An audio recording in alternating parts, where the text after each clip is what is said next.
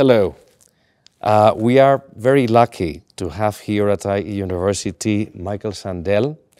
Professor Sandel is the T. and Robert M. Bass Professor of uh, Government at the University of uh, Harvard, and where he teaches political philosophy. Um, his works has been now translated into more than 27 different languages. Um, his course, Justice, is released for free on different uh, social networks and has been attended by tens of millions of, uh, of different uh, citizens across the world. He was, among other things, recognized as the most influential uh, figure in China in 2011. Uh, he also received the Princesa de Asturias Award in uh, 2018.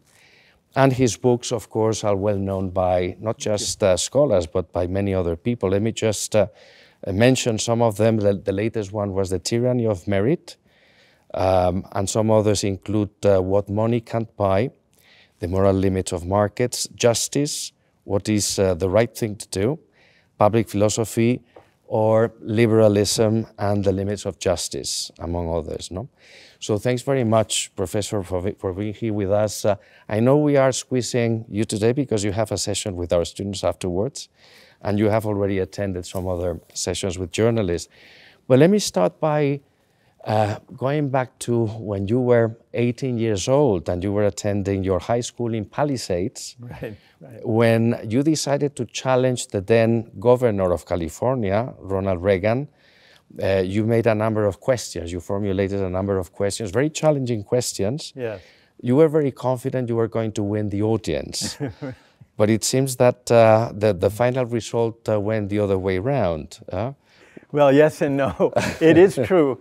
Uh, when I was 18 uh, in my high school in California, um, I proposed a debate with Ronald Reagan, who was then the governor of California and uh, likely future candidate for president. And uh, I was a debater.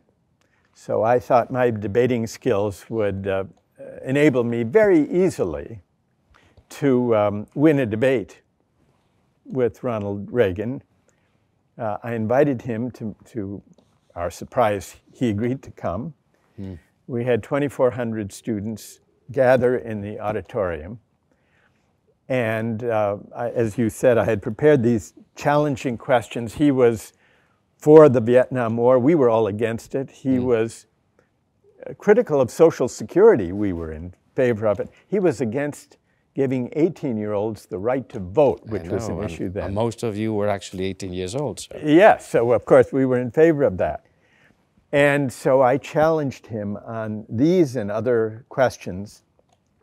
Um, and what was surprising was he listened very respectfully, replied with great charm, and though he didn't persuade us of his views, at the end of the hour, oh, and then after I tried, we let the students put questions to him. Same thing.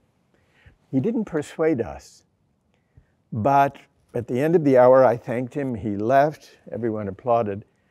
And I can't say that I won the debate because he somehow deflected the questions and charmed the audience with his sincerity and his humor, but above all, the respect he accorded us. And this, this taught me an important lesson about politics that it isn't debating skills or debating points that prevail, it's the way one connects with and shows respect for the audience. And this skill enabled him uh, some years Indeed. later to be elected president of the United States. That, that, that's very interesting since uh, debating is a very common practice at uh, many universities, yeah. including ours. And uh, at Oxford, where you actually also studied, you were a Rhodes Scholar, uh, the union uh, yeah. there and the debating society has been the cradle of, among others, some of the politicians that uh, that led also uh, the UK into Brexit. No, I, and I wonder, but as you say, uh, respect in debate is something which is essential also for democratic debate. Yes, right? yes, it is. And it goes beyond winning an argument. It has to do with the spirit in which we enter into political debate. And part of what makes politics today so frustrating for many citizens, maybe most citizens, is that people don't feel that their voice matters. People feel that what passes for political discourse consists of shouting matches, where people shout past one another without really listening. Mm. And I think there's a hunger for a better kind of public discourse. But in the meantime, we have the anger and frustration building because politics seems to be about small things. Mm. And criticizing others, no? Yeah. So it's rather the, the argument against the person than, yes. than against the ideas, no? Yes, yes. I was wondering, you're able to attract uh, big audiences. You're a very popular philosopher. And, uh, and I recall that uh, it is said that the first uh, traffic jam uh, in, on, on Fifth Avenue in New York was caused by a philosopher. It was Henri Bergson hmm. in the early 19th century. Hmm. He wrote on, on humor and some other yeah. things.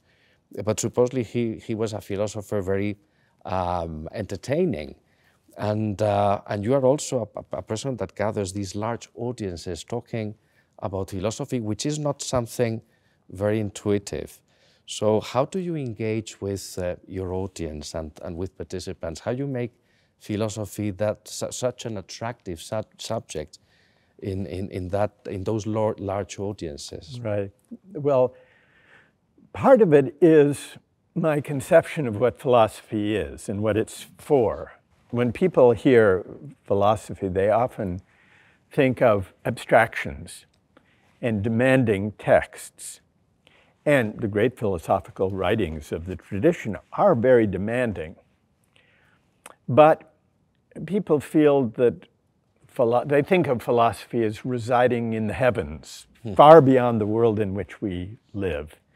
Philosophy is a vocation for dreamers, many people often think that has little to do with the lives we actually live. I don't see philosophy that way. I, I think philosophy uh, should not reside in the clouds, but in the city, where citizens gather and disagree and debate one another, and ideally reason together about big questions that matter. And so, to address your question, when I um, speak and uh, address audiences in various places. Uh, I try to connect philosophy with questions people already care about even before they realize that philosophical issues are at stake. Uh, questions about what counts as a just society, uh, what should be the role of money in markets, mm what do we owe one another as fellow citizens? These are questions of moral and political philosophy, but they, they bear directly on the debates we have every day about how to get along with one another, about what we owe one another, about what the tax rate should be, about what the laws should be. So relating philosophy, whether in the classroom or in public settings, to questions people already care about is part of what engages people, I think. And I let them talk back and argue back with the philosophers, with me, with one another.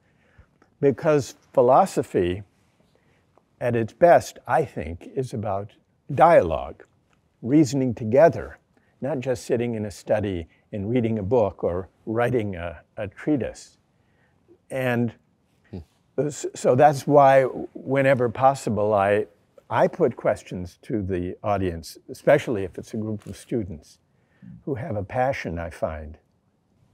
Anywhere, everywhere I go, a passion to argue together, reason together in public with their peers and with me hmm. about big questions that matter to them. That really is, I think, um, what attracts people to philosophy and to these discussions. I guess for, for those who haven't seen your uh, recorded sessions, uh, it has to be clarified that you don't. Pro- philosophy is not about uh, providing ready-made solutions Right. or telling what is right or wrong. no? Yeah. But rather, uh, what you do is actually um, nurturing that dialogue Yeah. and asking people to think by themselves. uh, Yes. asking the right questions, actually, right? Yes, and to encourage people, to invite people to articulate the reasons lying behind their opinions and moral convictions. And then to listen to others do the same, and where they disagree, to try to figure out why.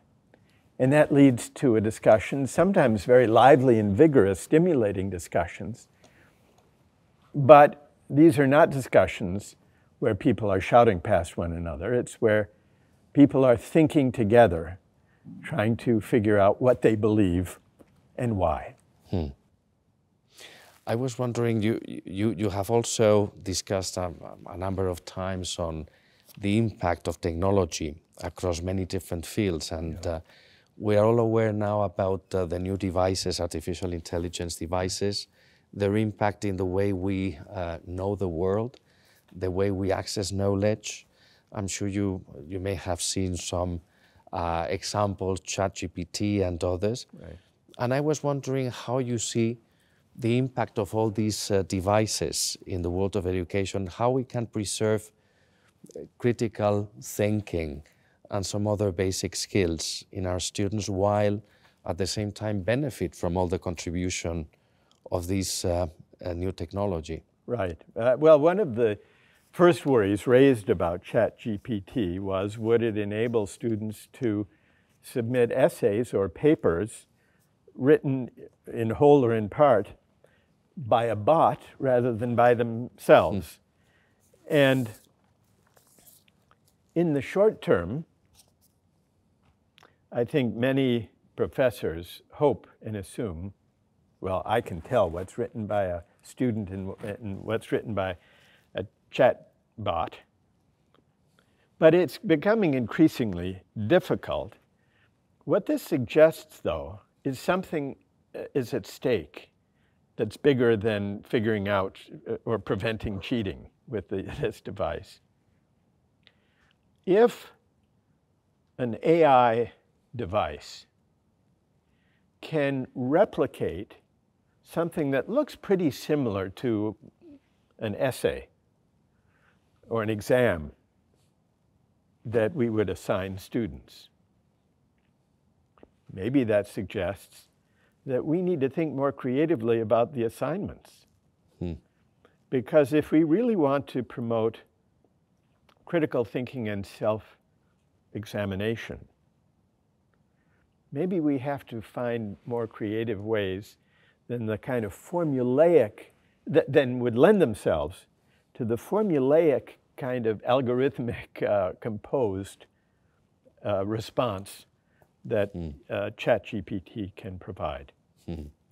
Indeed. Um, this year we are celebrating the centenary of um, John Rawls, and uh, Oh, yeah. you had the chance of uh, working with him, and uh, you also reviewed his work. You were one of the most uh, influential thinkers in, in revising no, his uh, main thesis. What do you think is the major contribution of John Rawls um, these days, no? given that uh, his books are still very influential, but mostly, I would say, in academia, no? rather than uh, in, in the general public. Well, John Rawls was um, arguably uh, the greatest or one of the greatest political philosophers of the 20th century, uh, certainly of the period um, uh, after the Second World War. And his great book, A Theory of Justice, is a classic. And it makes an argument, it was published in the early 1970s. It provides the, the most powerful philosophical argument for the welfare state that had emerged uh, in the aftermath of the Second World War. And for a more generous welfare state than the United States, certainly at that time and maybe since, has achieved. And he also made a strong case for respect for individual rights. And so I think these are great achievements, and it, um, it's a very influential book that rightly is seen as a, a classic. You're right when you say that I wrote critically of John Rawls's argument. My first book, Liberalism and the Limits of Justice, was a critique of John Rawls's version of liberalism, and that emerged from the dissertation I wrote uh, mm-hmm. as a graduate student at Oxford. And I certainly agreed with his argument about the importance of individual rights.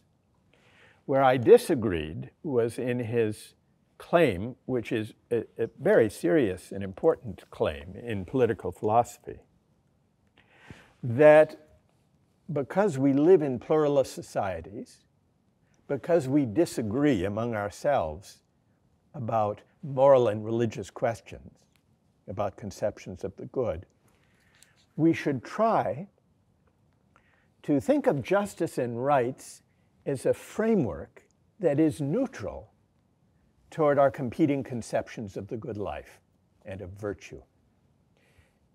I understand why there, there's something very attractive in that project, because it seems a way to at least secure respect for fundamental rights and toleration in the face of our moral disagreements. But I argued then, and I continue to think, that the aspiration for principles of justice that are neutral with respect to competing virtues and conceptions of how to live I, I don't think that project can succeed. That was part of my argument. The second part of my argument was the attempt to present uh, conceptions of justice as if they are truly neutral. The attempt to defend laws and rights of this kind or that kind, claiming that I'm not taking a stand one way or the other on your religious convictions or her moral convictions. I think that creates a kind of hollow public discourse. It invites citizens to leave their moral and spiritual convictions outside when they enter the public square. And that creates a public square that is so empty of moral argument that it, um, it's unsatisfying uh, no policy or law really is neutral on moral and, and uh, questions and conceptions of the good. Mm-hmm. So there is a kind of, uh, people sense there's a bad faith in the insistence that we're deciding whether or not what the law should be, for example, on abortion or on same sex marriage. But we're not taking sides on your, on your moral convictions about those subjects um, I think that leads to a kind of thin toleration that hmm. people don't ultimately believe in. So I'm for a more robust pluralism, one that welcomes into the public square, even hotly contested, hmm. Moral and even spiritual convictions, so that people can reason and argue, sometimes with passion, about those questions.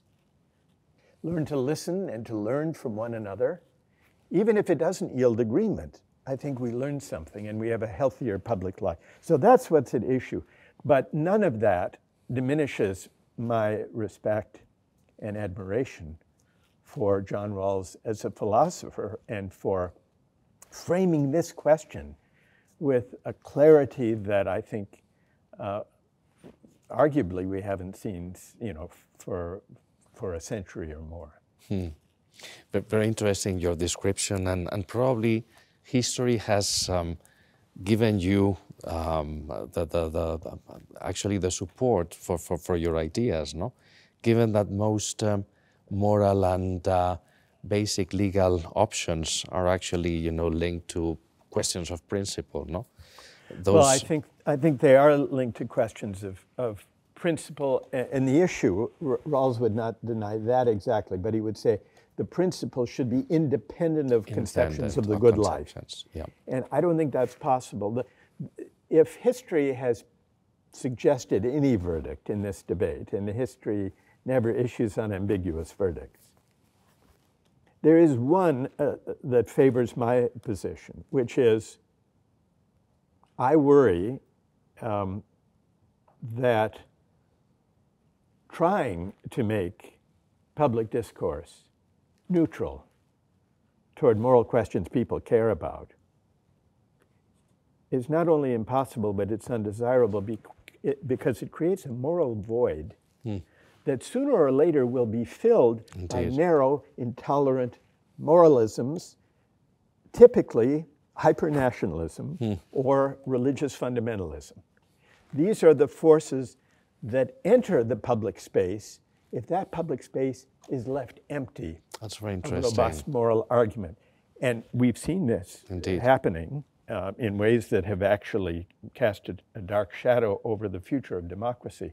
And I think that has partly to do with the mistaken attempt to uh, claim that public life could be neutral toward moral questions. It's also closely connected to our tendency over recent decades to rely more and more on markets to mm. decide contested public questions. Mm.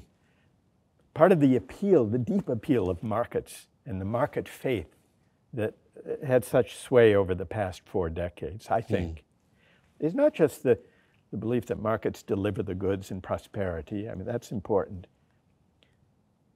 But markets seem to be a morally neutral way of deciding hard public questions and to spare us as democratic citizens the need to engage in messy, contentious debates.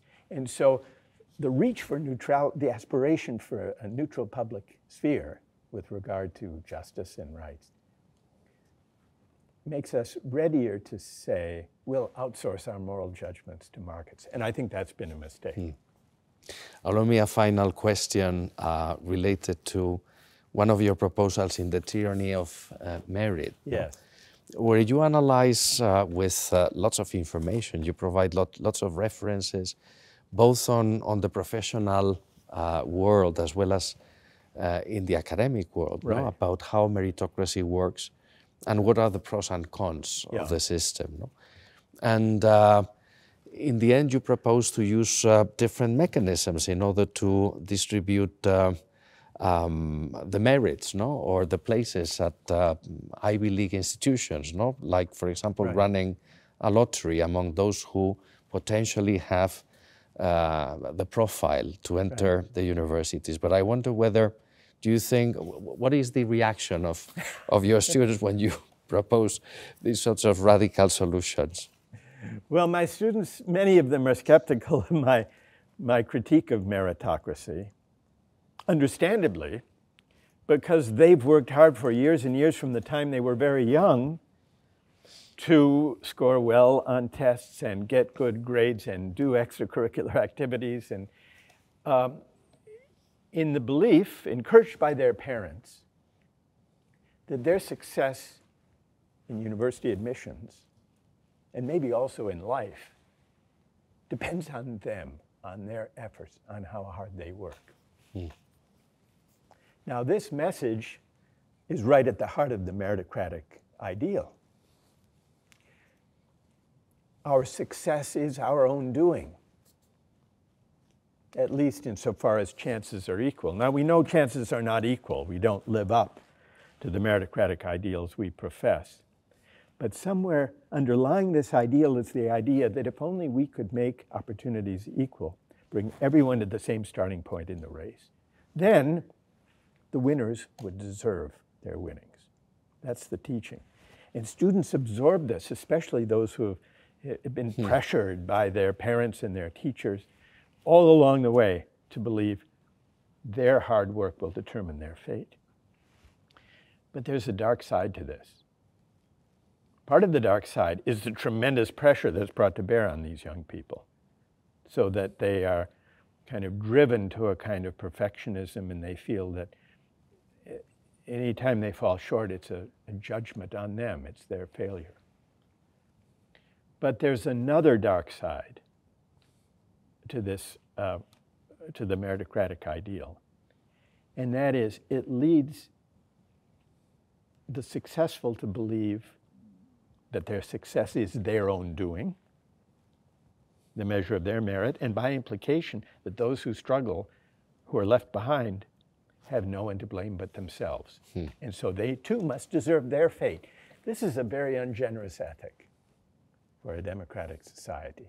That's my main uh, critique of meritocracy. But as for the lottery, this is to try to, the idea is the universities should determine who's qualified to do the work and, who, and to do it well and to benefit from the education and to contribute. And that might be far more people than there are places. So I suggest that from that group, the university admit on the basis of lottery, a lottery of the qualified, I call it. And mm-hmm. my main reason for this is to question and to invite, to invite the students to question the hubris, hmm. the conviction, uh, the, the meritocratic hubris that leads us too easily to forget the luck and good fortune that help us on our way, that leads Indeed. us to forget our indebtedness to those who make our achievements possible. So, this is the moral point lying behind my proposal of a lottery. No, which is a very, very provocative one. What I wonder is how we can balance no, uh, yeah. that moral luck yeah. that happens uh, and that promotes. Um, that, that balance is actually the, the equality of opportunities that you were describing, how we can balance that with, with for example, lifelong learning. Right. Or options throughout, you know, uh, many different uh, opportunities in yes. life, just uh, not just, you know, at, at once, yes. no? when, when yes. they enter university, no? That's, it's very important. Mm. I think the, well, there are two great incentives to lifelong learning. One is to, the, uh, the utilitarian one, mm-hmm. that it helps you prepare for changes in the job market that occur at a time when people can't simply prepare for one career, but have to be prepared to educate themselves for new opportunities and challenges in the economy. That's the utilitarian mm. case for lifelong learning. But there's also a more intrinsic case, which is ideally, learning should become a habit that people value and prize and love mm. for its own sake, for the intrinsic satisfaction that comes from learning. And there's no reason that that intrinsic satisfaction should end after undergraduate years or after a professional degree. Indeed. If, if uh, and this goes to questions of the good life. Hmm. I, I think one important ingredient of a good life is the curiosity and openness of mind and spirit that uh, prompts a continuing desire to learn and to grow as part of one's self development. So here we have a very clear contrast between the utilitarian rationale Indeed. that we were discussing earlier and the, the intrinsic love of learning that universities at their mm-hmm. best.